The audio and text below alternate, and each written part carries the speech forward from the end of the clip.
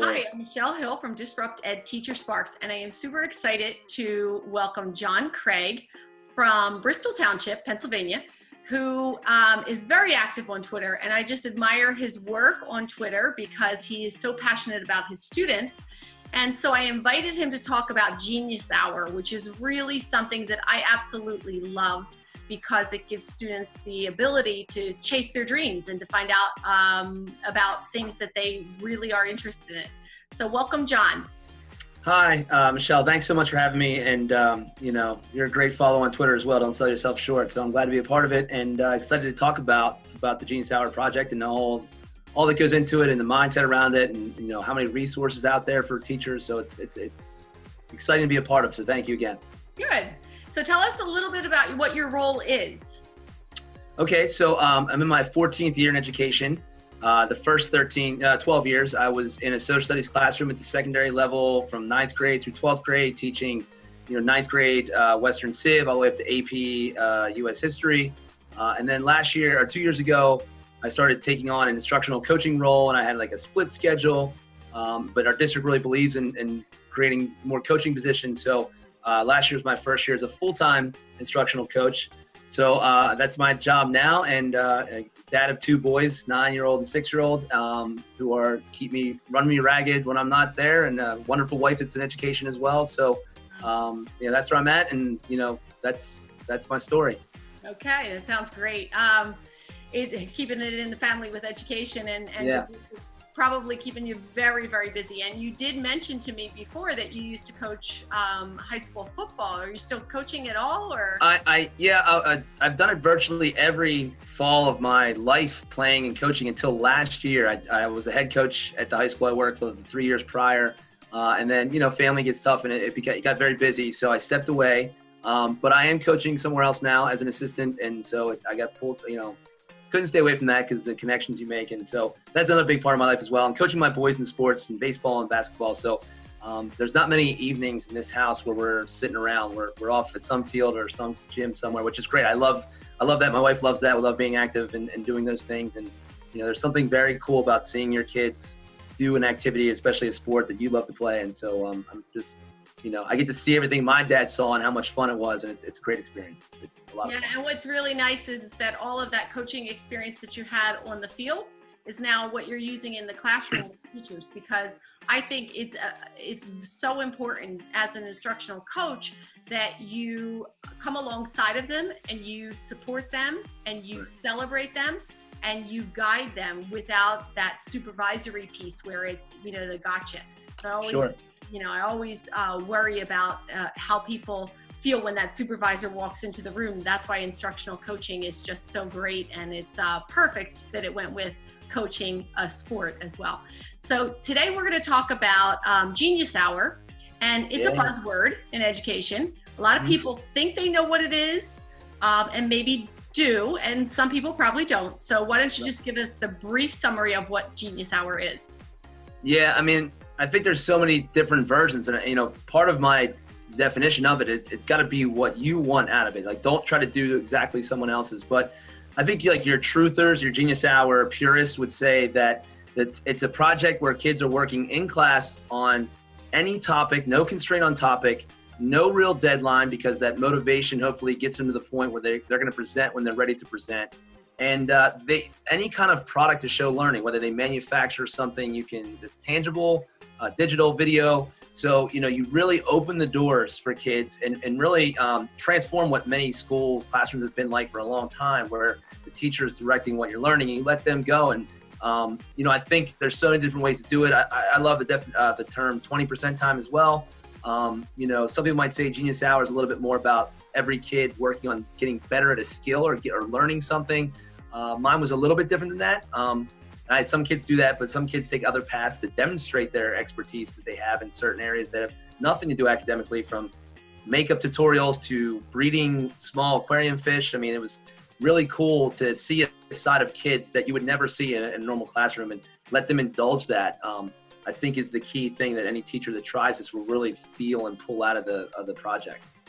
Yeah, you know, um, I didn't have actually a, I wouldn't say a specified time called Genius Hour, but it was uh, an extension, I guess, or a component of Genius Hour would be project-based learning, where they would yeah. they would choose their own project and they would work on it. And I remember when I gave them the project, I would say to them, you know, here are just the few things that you need to do. And yeah. I don't care how you do it. I don't care how you show mastery. You can you know make a poster board you could uh, create an imovie you could and and i just said to them the boundaries are very unclear. And my upper level students were what you're gonna say. yeah they were I, my ap kids we i did it with and there were a lot of kids that were like oh, i can't do it yeah I, I, can't do it. Like what, please tell me what to do. Yeah. i actually have had kids come up to me and I, go so can you please can you please just tell me what to do and i'm like yeah. guys i told you anything is on the table. And um, right. I said, but I guess probably the biggest thing that I would like our listeners to know is that when you do that, you also have to recognize that you've given them such liberty that you better think about how you're going to grade that. Because if you slap right. a, a grade on top of that, that is going to curtail them wanting to do something like that again because they're stepping outside of their comfort sure. zone. It's really, really yeah, it becomes a negative thing. And then they're like, you know what? Let me just take a test. Yeah. So, you know, that I would caution the, the viewers about that because um, that was one of the things that I always made sure I did was when I gave them that freedom and I gave them a lot of liberty to pursue mm-hmm. what they wanted and how to demonstrate it, that I wasn't using the grade as a gotcha. Right. And I think I think that the amazing part for me that same exact thing, I had a girl that, I mean, any topic when I did it with, with one of my classes, she she told me it was like whatever you're passionate about, whatever you want to do, and she's like, "Can you just pick the topic for me? Do you want me to pick a topic?" And I'm like, "You know, that's not no." And so I saw that struggle, but I think it was such a reflection, unfortunately, on our education system that these kids have what I say they play school very well. They know the game very well. Those higher level kids, and that scares them because they might fail at this, and at least they, they worried about failing, and so you know, when it comes to grading, and some people might say, you know, don't grade it. That's a hard thing for most teachers say, you know, because we still, we still struggle. You know, you're still gonna have kids that aren't gonna be find the motivation. You're still gonna have kids in that classroom of 30 kids that you're gonna have to really work with to find that that goal. And and, and sometimes the grade might have to be the thing. Um, but I really pushed on. I'm gonna grade the process and not the end result. And I think that's key. And I, and I also want to make sure I make it clear that just because it's you know any topic maybe a possible open due date and any kind of product it's not free for all. It, it, it, should be structured. And so that's where the process is really what you're what you might grade not so much the end result. And, and the end result you know in, in the in the growing growth mindset grit age we have i think you know the idea that the um, the end result might be a failure is okay right because we're going to look at all the reflections you did on on your learning and that you know, I, I, had a kid that wanted to, he wanted to recreate Woodstock. He was like, I want to try to recreate a mini Woodstock, right? And I was like, that's a big task. And one of the coolest moments I had with him is that he called, uh, uh, he was, he found a little amphitheater and he called to figure out how he could rent it and what the, what's the deal. And he comes back and he was a little dejected. And uh, I said, what's wrong? I said, well, you have to pay for security and you have to pay for these fees and those fees. I'm like, that's event planning, buddy. And he's like, oh, like, so his failure and, and, and kind of rejection was was that learning moment. He just realized, wow, this is a big deal to try to pull off. This is going to need a lot more work than just a couple buddies getting together and playing music. So yeah. I think again, the process is what you want to look at, not so much the the end result. And and the other part of that for me was I remember I had some uh, students, two girls who were horrified when they didn't get the highest grade that they thought yeah. they should get because they turned in their project right on time and they, you know, I looked at them and I said, you have a trifold poster that you probably did in fourth grade. You've right. done nothing to extend your learning. And I told you, you got to reach. If you want that really high grade, you have to show me that you've mastered the information, but mm-hmm. more than that, you have to show me that you've developed some new skills that you've really reached. You stretched, right? Yeah, that's and, great. And stretched, and so I was very careful after that when I when I presented project-based learning with my students. Mm-hmm to say to them, if you turn in something that you could have done in fourth or fifth grade, you're not going to get the A. So, yeah. you know, that's, um, and, and you talked about grading and that's so important because we are grade driven and kids sure. are, they'll, they'll twitch if you don't grade everything. Yeah. Um, because, yeah, or they won't do it. Or they will, you know, it's like, oh, well, well senior coming at the end of it. It's like, yeah. I would always say maybe. yeah, yeah, yeah, yeah. Well, we don't know if this one's going to be graded, but um, because you can't possibly grade everything. But what I do sure. love about Genius Hour is is that we get to see a side of students that we normally may not get to see. Yeah. So tell me about a great experience you had with a student where you got to see something really cool that you would have never never found without this. Yeah, I mean, pro- I mean, you know, between some little things with like again, I got a, a kid that had this had aquariums all over his house and and and bred the cichlid fish. And uh, my son wanted a goldfish. I was like, "Tell me about fish." And so like his demeanor in every class for probably the first 100 days was completely different on day 101 when we had this conversation. I learned this whole side, and he, he wanted to get a job at a local pet store. Uh, he, was ten, he was in 10th grade. He was like 15, and his dad made him want to wait to his 16. He couldn't wait to go work at a pet store, to, aquariums that, that specialize in aquariums. So that kind of stuff. But probably the greatest moment in, in the one year, uh, the best year I did with this uh, project was um, a girl that decided she wanted to make a beehive. She was like learning about, you know, the concern about bees and honeybees dying. And um, so she wanted to make a project uh, where she would make her own beehive and she would research it. And the cool part that, you know, the other thing about Genius Hours, there's so many layers that often get built into it that, that go unnoticed, learning and connections and relationships. And so she she her dad worked construction site, uh, you know, uh, something where he could bring home the pieces they needed. So they kind of uh, were just building it essentially for free. Uh, it was just time, and so you had that moment and such a cool idea of a project. But then she also talked about this relationship with her dad that was building because they would spend time together. I mean, all that stuff. I mean, you know, it, and, and it's the stuff you see on TV. And I don't want to make this seem like that moment that seems fake, but it was so real.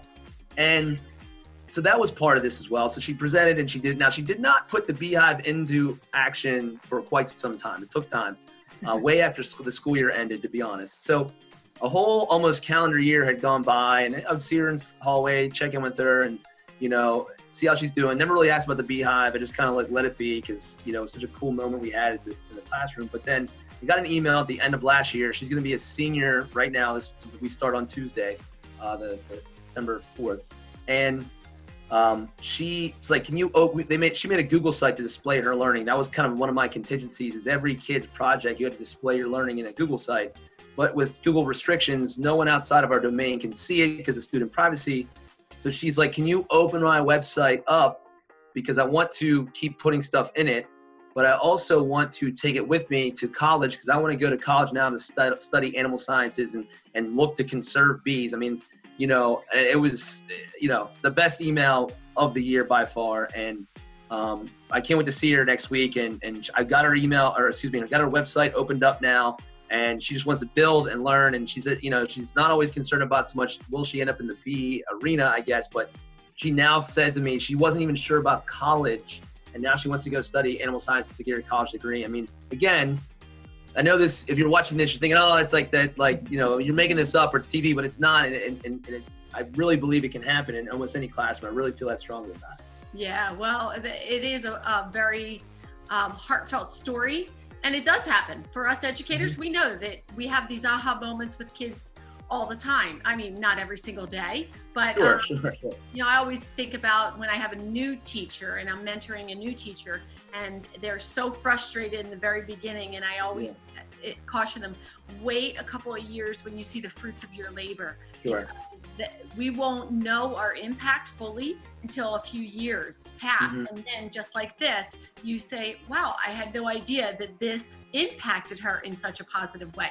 So, the big question I have, which um, probably everyone watching that doesn't know about Genius Hour is Is it something that you can do at every level of learning? Yeah, I mean, absolutely. Uh, you know, definitely the secondary would be is is easier, uh, but there are a lot of people out there at the elementary level that are doing it. Uh, one of the best ways I've seen elementary school teachers use it is like a, they, they might do a whole class genius hour project, let them decide as a class what to do, so it's not individualized, and it's you know, it's it's letting the kids pick where to go, but they're doing it as a group or, or maybe in, in, in small groups. And so that's kind of how they do that. Or, you know, the teacher obviously probably has a little more direction on what we're going to do. Maybe we'll do some kind of community service type project. What can we, you know, I've heard of teachers taking their class on a walk around the school and they're they're journaling. What what do you see that you could fix? What's wrong? And maybe we as a class will decide to go fix that. So that's where I see it working there. But you know, definitely um, the real individualized powerful moments are with the with the older kids. But you know, there are people doing it at the middle and, and, and elementary school levels. Um, and, and and I also say this. I, I think elementary elementary school kids most of the time are pretty easy to motivate to go and learn, and that they're excited about school. The high school kids, as, as we know, we're going to run into some cha- more challenges with kids resistance. So I think that's where that genius hour even to them, and I also again a reflection of our system. I think kids go from excited in school when they're young to like, oh, school stinks. Um, because a lot of them don't see how that fits in their life and how they connect to it. And so I think again, this project can do that for a lot of kids. You know, I would love to see, and I always talk to teachers about let you know, teachers always want to try things with some of their honors kids all the time. Let's try it with the non-honors kids because they're the ones where school's not going well. Yeah, maybe, maybe, you'll flip a switch. I, I bet there's a kid that's sitting there waiting for this to happen in their classroom. So, um, you know, it, I, I, really feel like we're working at a level. So uh, yeah. Just a minute. We're gonna cut one second. No worries. Cut this piece out because my crazy dog thinks that he um, owns our street. Yeah. Okay. Are you done? okay. All right. So we'll pick up right there. Okay. So one of the things that um, that I also want to point out about the high school level is is that yeah they lose their their desire to be there because they're often in classes that they are mandated. So even though we have electives, I mean you and I both t- teach high school and we know that we have electives and the electives are supposed to be fun and they're supposed to be doing all kinds of great stuff. Yeah. At the high school level, the electives even become very academic and, mm-hmm. and they challenge the kids who are not maybe that um, strong and would prefer to be hands-on.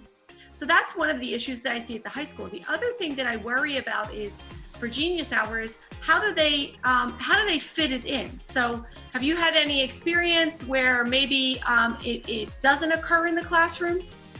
Um, I mean, yeah, I think there's different variations of that. Um, I, I know that in our, you know, I think these schools now with maker spaces are creating these places where they can do that, whether it's during lunchtime, whether it's during uh, different periods of the day where kids can get away and do that. Um, I think that movement has, has, definitely pushed this idea a lot more and made it more real because now, if you're a teacher that's in an English classroom per se, and you want it, and some of your kids want to work on something hands-on, now you you know a lot more schools have that space where you can go do that, and it's accessible to get resources. Um, and I know, like you know, for example, and this is not uncommon. Uh, our engineering teacher and robotics guy, they're, they're kind of generating an idea of a club this year. It's like a tinker club. We're just going to bring yeah, yeah. cool stuff and let, let kids, like, there's no, there's no guide. Just go figure something out. If you want to work on coding, you know, anything kind of engineering, electronic, robotic type fields, we're going to get resources there after school and it's an open, open door of what you want to build. And so, you know, that, that clearly would be in that genius hour realm of, of student driven learning and, and playing. It's play, but it's learning at the same time for them. And you know, um, I've always had this dream, but uh, it didn't come to fruition. But in the school that I just left, we had uh, a one lunch, and so students have that 55 minutes.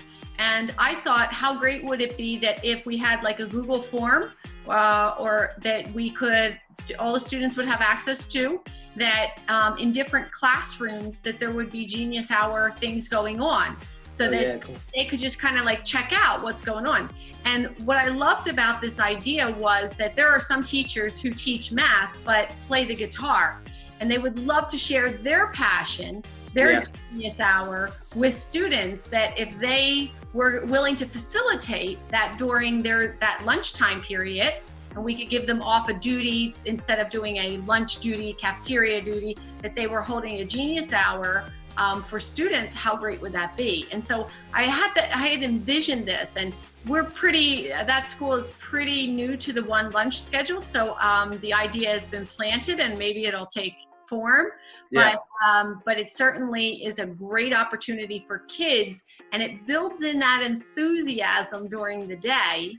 Um, They don't have to stay after school. But you bring up a good point that there are some clubs that run after school, like a do-it-yourself club or just you know some of the things the extension pieces to what kids love to do mm-hmm. um, i now work at a institute of technology and i can tell you that it that they to inspire students to come to school is not as hard because yeah. half of their day is spent doing something that they're really really interested in much like the genius hour so that's um, and when you look at that and you think that they may have had attendance issue uh, attendance problems in their other school but now they don't you have to think that it has a lot to do with being able to drive their own learning with things that they're interested in right and i, I love that um, your idea because it did remind me of uh, um, friend of mine, uh, Rich Czyz is the uh, author of Four O'clock Faculty, and he just did last year. I'm, I'm going to blank on what he called it, but it was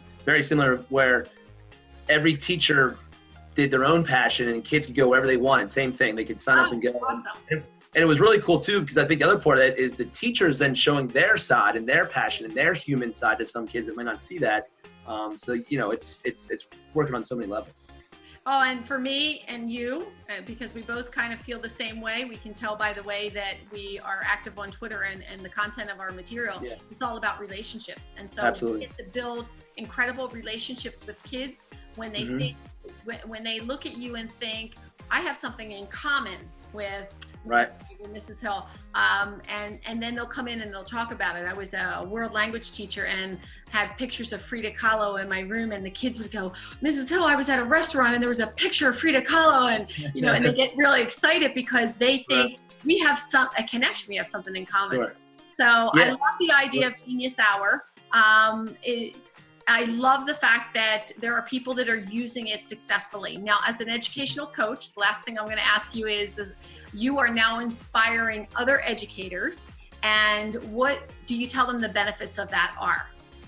Yeah, um, I think the first thing is what you just said is that when when I was able to do this, you know, part of my process in my classroom was that uh, I was I was the, the, kids were forced to have all many multiple one-on-one conversations with me. So like during the G hour time, certain kids were scheduled to sit with me and talk about their project, and so now you're talking about what they're passionate about and building that relationship. And something again i would have never had those conversations if it wasn't for this project. So the relationship building is so huge. And I, and, and you know to me when when you start when people start questioning well where does this fit in curriculum and standards?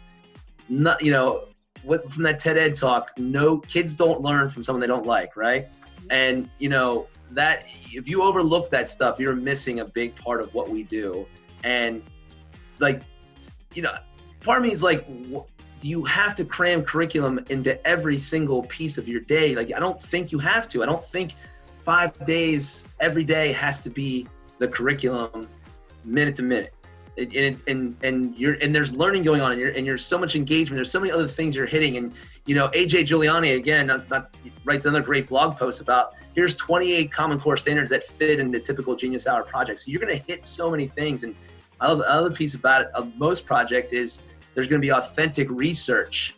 And think about how valuable that is in the modern age with, you know, if I say it, fake news and so much for the kids, there's a life skill we'll need to navigate when they are exposed to all this social media and everything coming at them about how to identify good resources and know what to go forward with. So how many things are now going to be in there? And, you know, my Genius Hour required kids to blog and, and write every, every, every time they did it, if not multiple times. So uh, website building, 4C skills. I mean, so many things just get lumped into it where you are going to be hitting a lot of things, even though you're taking out part of your curriculum that you might traditionally save on that one day a week if you're doing it in that 20% time. So, you know, so when I when I present to teachers about it, I I, I kind of almost say, how can you not do this? And how much more effective could it be than what you are? And I, and I might pose to, to to teachers, you know, um, would you want to be a 15 year old student in your class right now, or if you have a 15 year old, would, would they want to be in your class right now the way you do things. And that was, I had that moment for myself um, to push me more towards this. That like my my I was I was bored of my own stuff and to make changes. And that's how I kind of got to this point of wanting to do that. So, you know, I, I and, and you hit on it earlier. The instructional coach is such an interesting middle position because it's all about motivating and getting people to bring you into the classroom with them. So, you know, you constantly try to get them to reflect on what's going on and think about these things. But um, you know, I, I just kind of I'm a little tough in some things. I'm like, you know, you can fit it if you want to.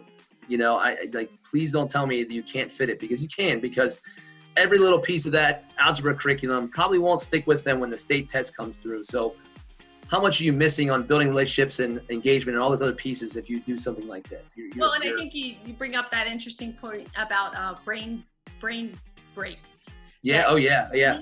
And they need that. Uh, they need so if you can fit it in somewhere where you can do that.